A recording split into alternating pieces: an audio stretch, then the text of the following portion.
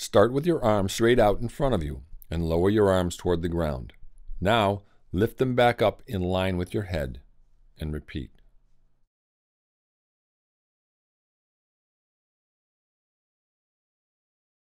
Move your arms out to the side of your body. Your body will make a T shape. Lower your arms toward the ground, then lift them back up. You want your palms to face the front when in this position. Finally, bend your elbows to a 90 degree angle and bring them to the side of your body. You must only move at the shoulder when lifting your arms.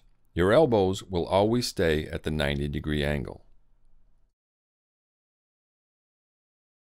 Some advanced weightlifters may want to use a 2.5 or 5 pound plate.